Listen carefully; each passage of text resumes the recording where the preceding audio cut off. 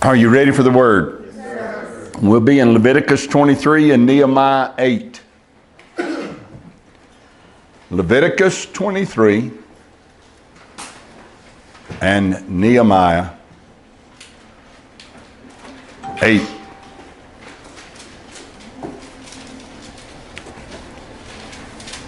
Leviticus 23 23.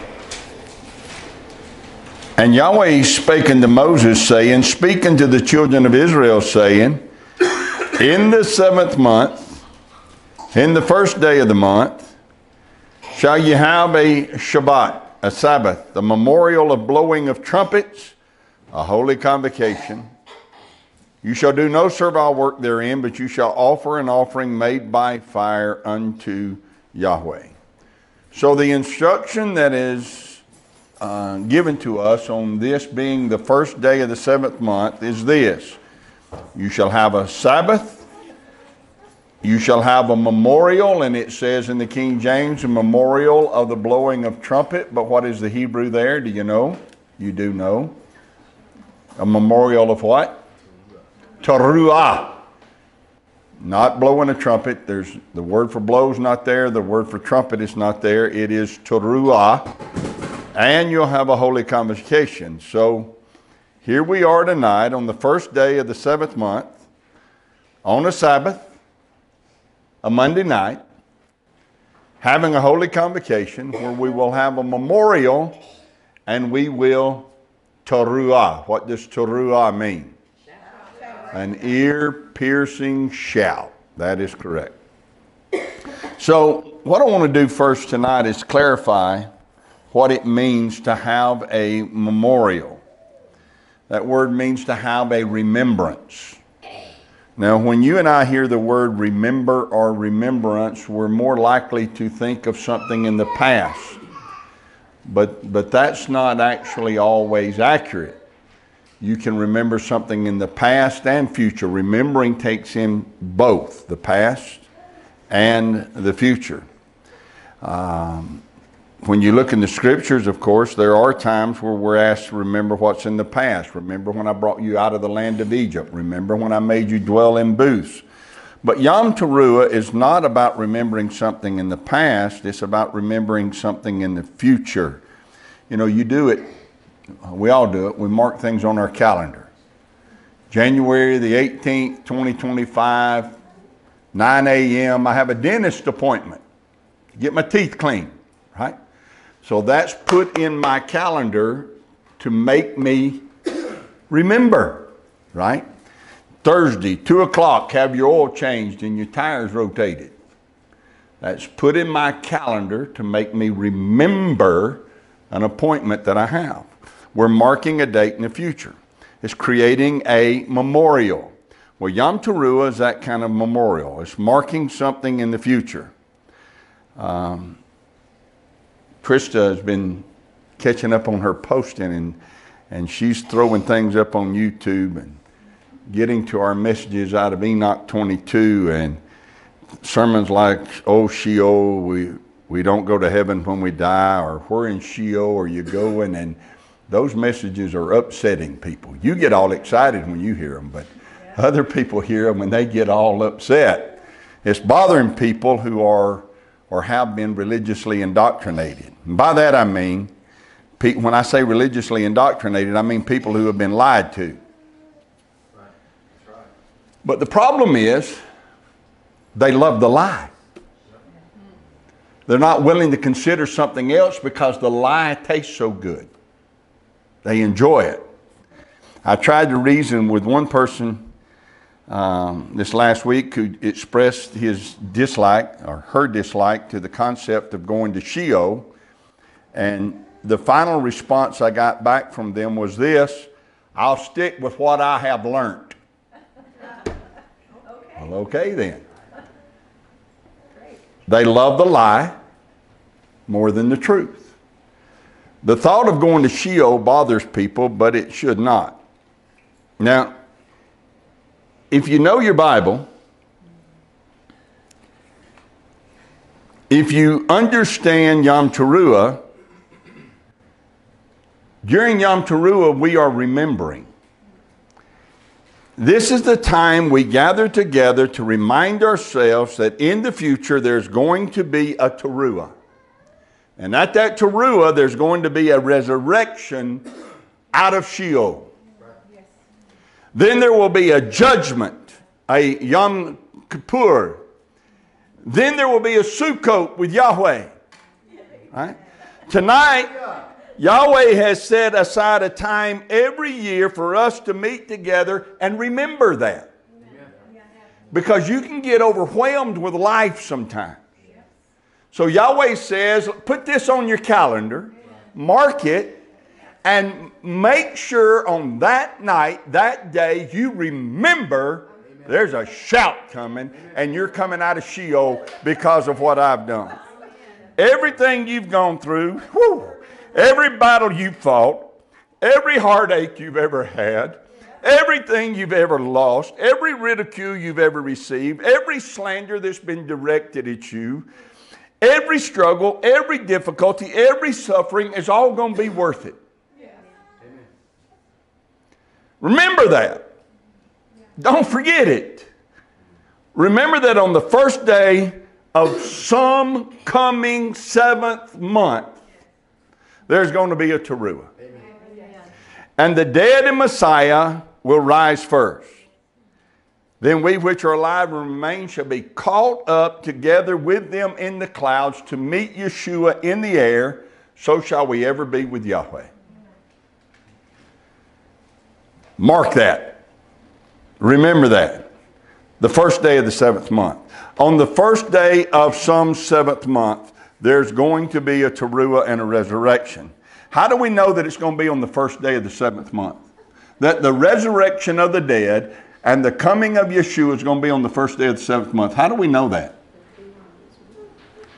Well, it's not complicated because that's when Yahweh told us to put it on the calendar. He wouldn't tell us to put it on the calendar if it wasn't coming. Put it on the calendar, remember. Put it on the calendar and have a memorial of a Teruah. I, I don't put on my calendar January the 18th, 9 a.m. dental appointment and then show up in March. Right? They're looking for me on January the 18th at 9 a.m. Yahweh said, Mark the first day of the seventh month, so it's not complicated. The, the words of the Apostle Paul make sense here when he said, That day shall not overtake you as a thief. It will some, but it'll not overtake you as a thief. You're going to be looking for it. Amen. Also, we know that it's going to happen on the first day of the seventh month because of the examples of the first four Moedim. Passover, unleavened bread, first fruits, and Pentecost. Every one of those happened exactly on the day that those Moedim said they would happen. Every one of them. Look in 1 Thessalonians chapter 4. I didn't ask you at first to turn there, but we ought to go read that. Then we'll get to Nehemiah 8. 1 Thessalonians 4. Look in verse 13. But I would not have you to be ignorant, brethren, concerning them which are asleep, that you sorrow not, even as others which have no hope. So this text is about people who are asleep. They have died and gone to Sheol, and they sleep in peace. And Paul says, don't be in distress or in sadness or in grief concerning those who've gone ahead. For if we believe that Yeshua died and rose again, even so them also which sleep in Yeshua will Yahweh bring with him. So Yahweh is going to bring them with Yeshua. Yahweh will raise them up and give them everlasting life in an incorruptible body. They're not leaving heaven coming with Yeshua. They've got to be raised up. Right? Even so, them also which sleep in Yeshua will Yahweh bring with him. Verse 15. For this we say unto you by the word of Yahweh that we which are alive and remain unto the coming of Yeshua shall not prevent them which are asleep. For Yeshua himself shall descend from heaven with a shout, with the voice of the archangel, and with the trump of Yahweh, and the dead in Messiah shall rise first. With a shout, a teruah, and with the trump of Yahweh. Then, aren't you glad about the then? Then we which are alive and remain shall be caught up together with them in the clouds to meet Yeshua in the air, and so shall we ever be with Yahweh. Then, when that shout takes place, when that trumpet sounds, the dead shall rise first. Then, at that very moment, we shall be caught up together with them in the cloud. The word translated together, caught up together, uh, together is not doesn't really convey the full meaning of that. It's okay, but it doesn't convey the full meaning of that Greek word. It actually means at the exact same time. We shall be caught up at the same time with them in the clouds. Wherefore, comfort one another with these words. So Yom Teruah is a set apart, appointed time to gather together so that we can comfort one another and remember that the sufferings of this world are not worthy to be compared with the glory that's going to be revealed in us. Not even worthy for comparison. With that in mind, let's go to Nehemiah 8. Nehemiah 8 is the record of after 70 years of being in Babylonian captivity.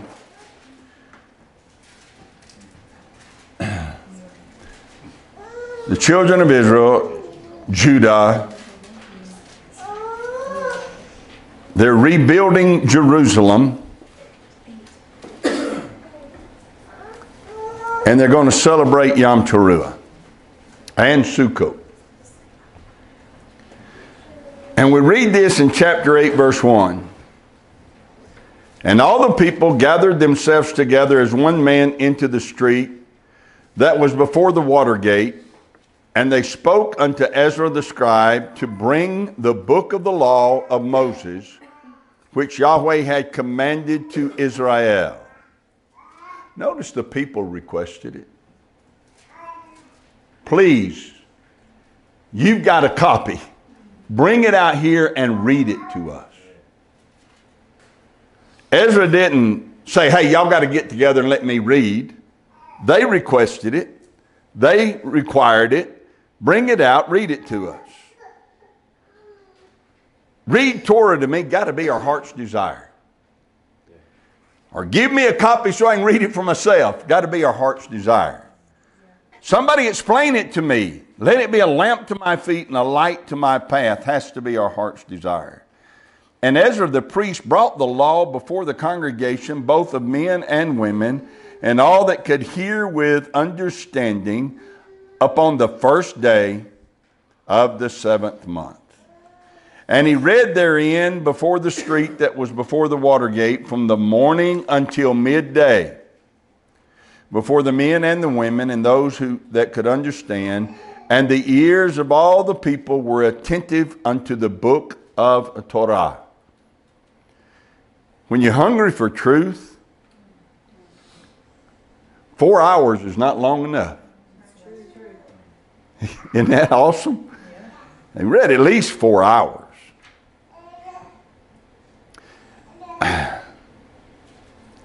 We know what day it's happening on, so let's see what they did on the first day of the seventh month. Nehemiah 8, verse 5. And Ezra opened the book in the sight of all the people, for he was above all the people. That is, he was standing on a platform that had been prepared for him. And when he opened it, all the people stood up. What reverence for the word of Yahweh. When you've been in a famine, when you've been in bondage, when you've been in stress, you learn to love things more than you used to. And Ezra blessed Yahweh, the great mighty one. And all the people answered, Amen. When you see it listed twice, Amen, Amen, that's for emphasis. They couldn't put it in bold like we do. So they wrote it twice. That means they said it loud. Amen. With lifting up their hands, and they bowed their heads and they worshiped Yahweh with their faces to the ground. So we're going to pause right there and notice the first thing that Ezra did. What's the, what's the first thing he did when he read Torah? He did what? Blessed, blessed Yahweh. What does that mean? Say good things, Say good things about. So I'm going to do that. If you agree, then you can say amen. Or you can lift your hands. Or you can bow your heads. Or you can worship Yahweh. Or you can do all of the above. But for now, I turn my attention to you, Yahweh, because you are the great mighty one. Amen. Besides you, there is no other.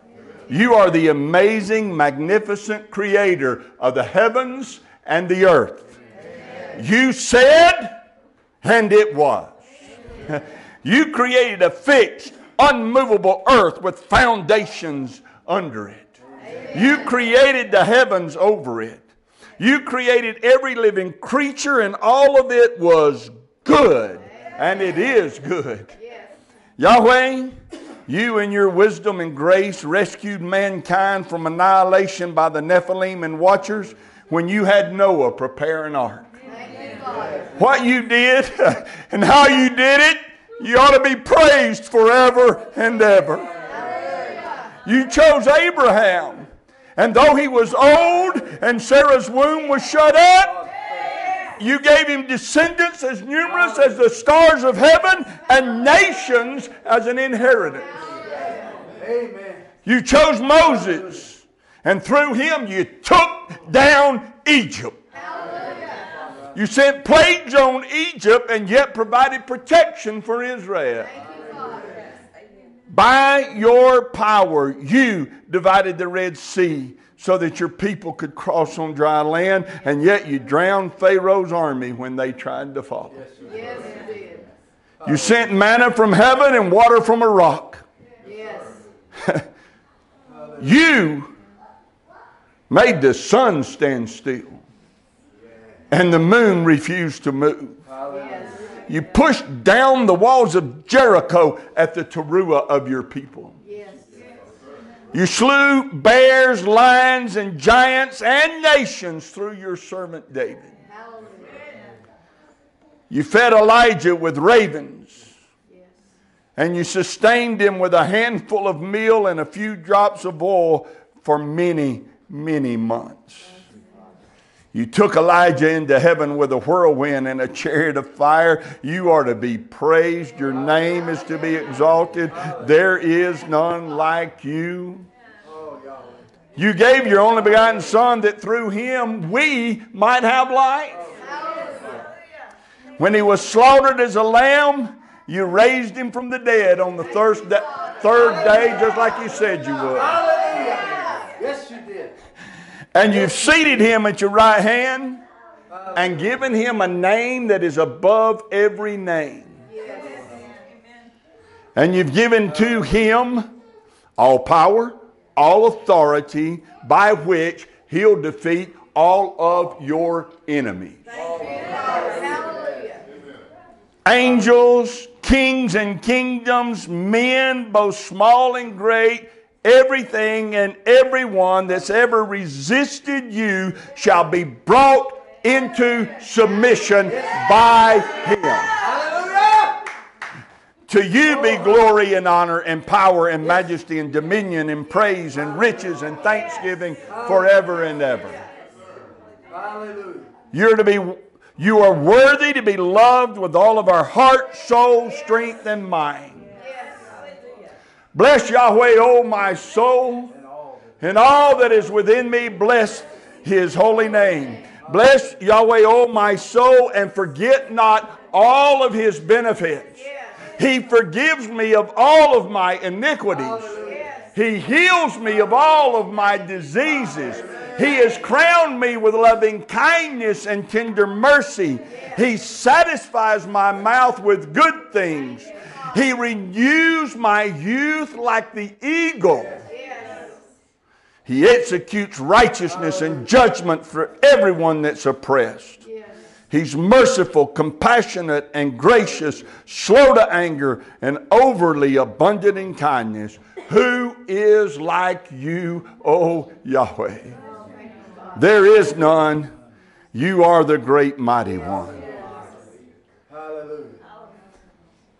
You delivered me from the destruction of lies that I was taught from my youth.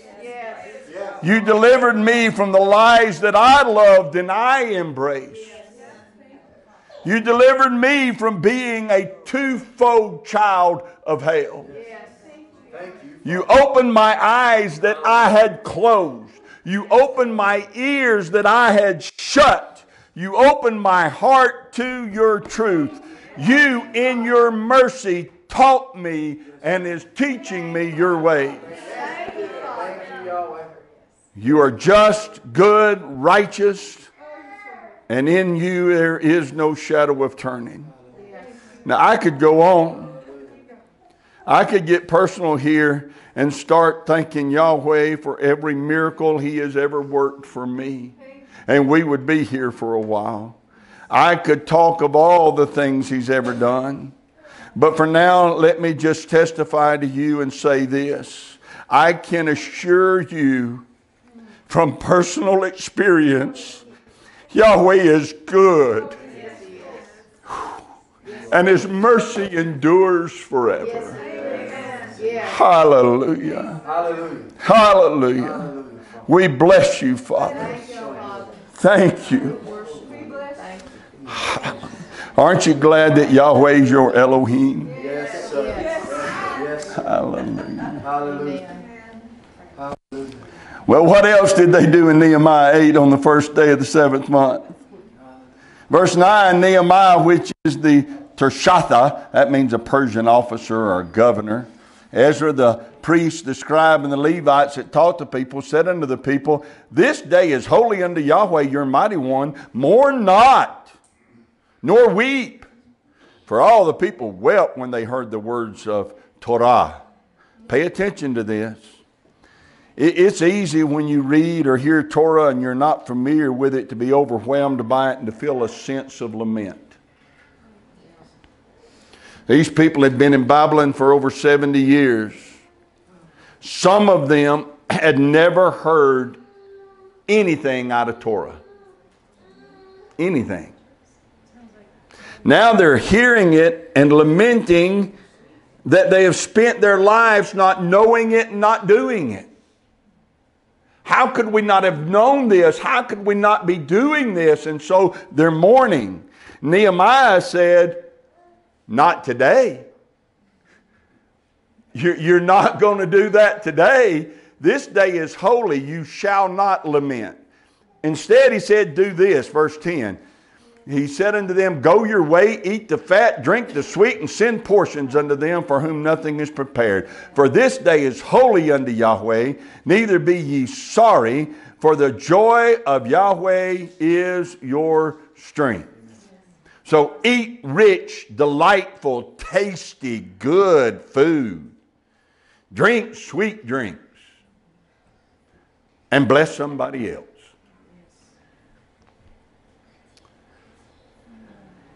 How wrong people are when they dismiss the Moedim of Yahweh.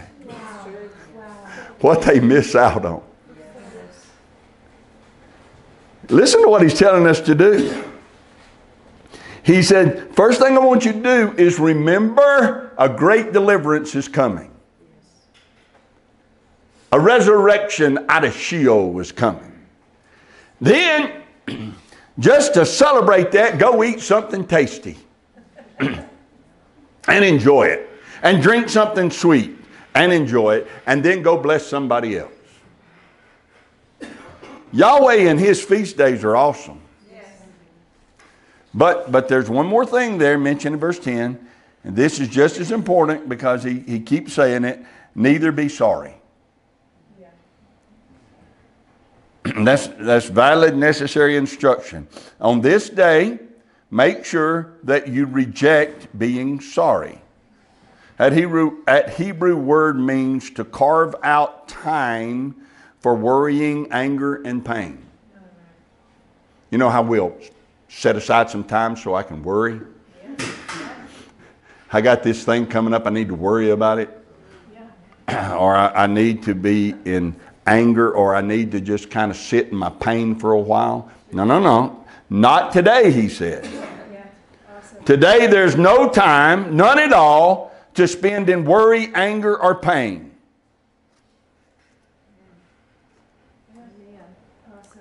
Gone with the wind. That's where our worry needs to be, but some of you older folks might have watched that weird movie. But at the end of it, when Rhett finally leaves, Scarlett standing at the door, seeing him leave, she says, Where will I go and what will I do? Weird woman. but as soon as she said those words, then she says, Well, I can't think about that right now. If I do, I'll go crazy. I'll think about that tomorrow. Weirdly enough, her comment came up and fits here to me. Today, I can't think about things that cause me to worry, to feel angry, or pain. If I do so, I'm in disobedience to Yahweh. Hallelujah. Verse 11. So the Levites stilled all the people, saying, Hold your peace, for the day is holy, neither be ye grieved. It's the same word that was translated sorry in verse 10. So he does not want us to set aside time for worry, anger, or pain. Verse 12 And all the people went their way to eat and to drink and to send portions and to make great mirth because they had understood the words that were declared unto them. They ate, drank, and sent portions. And what else did they do? Look in verse 12. They ate, they drank, and sent portions. And what else did they do? Made great mirth. They one upped it. All right, I'm not going to worry, be in pain or anger. I'm just going to go all the way and just be in mirth. Better word is blithesomeness. That's a word you use every day, isn't it? To be blithesome or to be in great mirth means to be so full of joy that you don't have a care in the world. So, even though they had just come out of bondage, and even though they're trying to rebuild the walls of Jerusalem, and even though they got enemies breathing down their neck, they just chose to be full of joy and not have a care in the world on that day. So, anybody, pardon me, anybody who encounters us tomorrow should think we just won the lottery. Because we did. Yes, we did. We have won something far greater than the lottery. You're going to be raised out of Sheol when Yeshua descends with a teruah. Knowing that, be joyful. Bless Yahweh and bless somebody else. Stand up. Spencer, did you come prepared? Bring it up here. This is Yom Teruah, the day of the great shout. The trumpet is involved, but the emphasis is on the shout. We mistakenly were taught when the shofar sounded, the walls of Jericho fell. That is not true. The shofar sounded to signal to the people to shout. When they shouted, the walls came down. So, in obedience to Yahweh and in remembrance, oh man, if we could just imagine that somehow. That the heavens opening up Yeshua descended, the dead in Christ rising, and immediately we're called up to meet him in the air. If we could imagine what kind of shout that would be, that's the kind of shout we need to give out tonight. Amen. So, when you hear the sound of the trumpet, shout. Stamp right there. Hallelujah.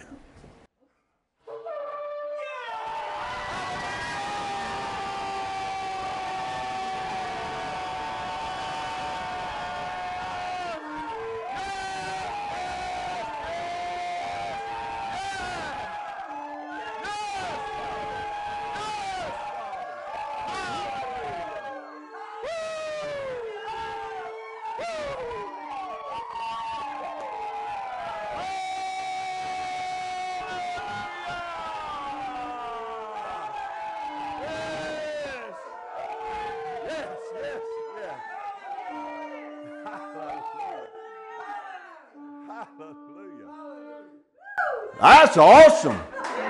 Y'all getting better and better at this. No, no shofar is going to drown y'all out. I love it. That's good. And it shouldn't. The ear piercing sound should come from us, not the shofar. Man, that's awesome.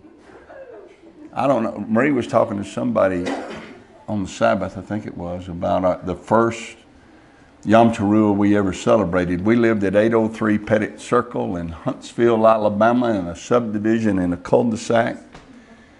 And we gathered in our backyard.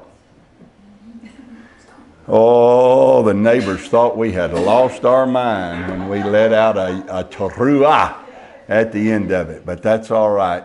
We hadn't lost it, we'd found it. Right? Amen. Well, let's eat tasty food drink sweet drinks, and make sure we bless somebody tomorrow.